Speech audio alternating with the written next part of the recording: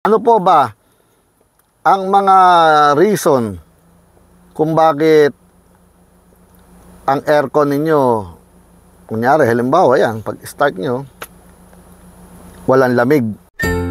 Mga ka-vloggers, welcome po sa akin channel. Sana'y magustuhan po ninyo ang video na ito. Paki-like, share, and subscribe na lang po mga ka-vloggers. Eto na naman po ang aking pinakabagong vlog, vlog, vlog! Hello, hello mga ka-vloggers! Welcome po sa aking channel, ang Ferdies Vlog. Mga ka-vloggers, gaya ng naunang mga video, andito pa rin po ako sa loob ng sasakyan natin. Ayan, maandar pa rin siya. Malamig siya, naka-aircon. Ngayon mga ka-vloggers, ang topic naman na pag-uusapan po natin ngayon, ano po ba ang mga reason kung bakit ang aircon ninyo, kunyari, halimbawa yan, pag start nyo, walang lamig. Ano yung mga nangyayari? Ano ba yung mga madalas na problema? Bakit hilaw ang lamig o matagal na ninyong ginagamit, hilaw siya, ano-ano ba yung mga dahilan nun? Kadalasan mga ka-vloggers, pagka kasi dumating ang isang customer sa amin, tapos ah kulang ang lamig ng aircon niya, may lamig, sabi nga namin, ang tawag po namin doon ay cool but not cold. Yon. Cool lang siya. Kaya nga cool lang. Joke lang po.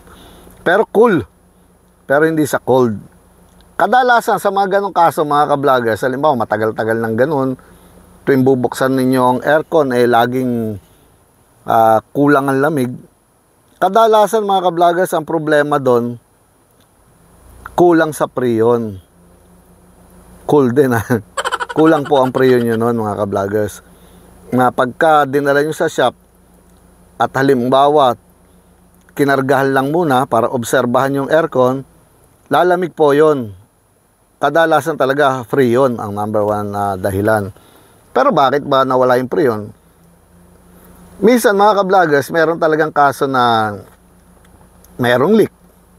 Pero yung mga leak na malalakas, kumbaga biglang, biglang wala lang po yung lamig nun. Pero yung kung katulad ng sinasabi ko sa inyo, matagal nyo nang ginagamit pero kulang po yung lamig niya.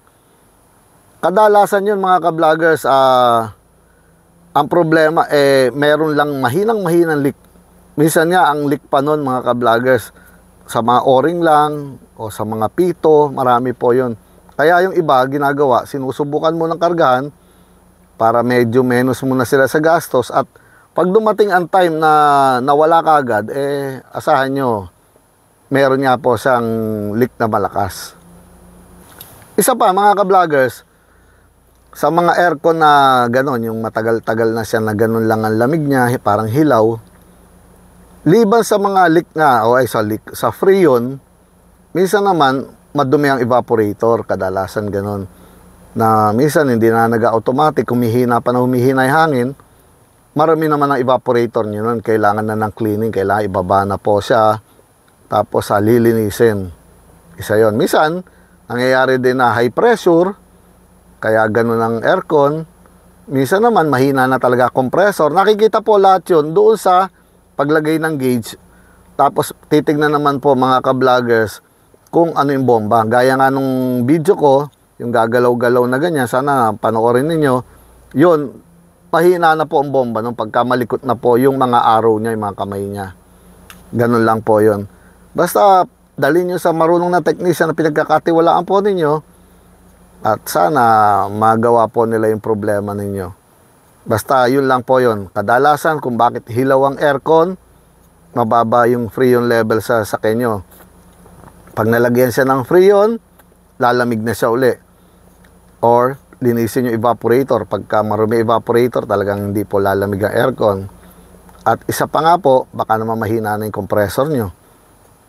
Isa na rin po yon Kung mahina talaga ang compressor, pero panoorin niyo po yung mga vlog ko muna para malaman ninyo kung talaga bang paano malalaman kung sira na yung compressor nandun po yung mga ka-vloggers. Para may idea kayo at iniiwasan ko lang kasi na maloloko po kayo. So sana mga ka-vloggers may natutunan na naman po kayo sa video na to. Kahit maigsi lang po to. Ano pa po ba sasabihin ko mga ka-vloggers? Eto na naman po pinakabagong edisyon ng aking vlog vlog vlog!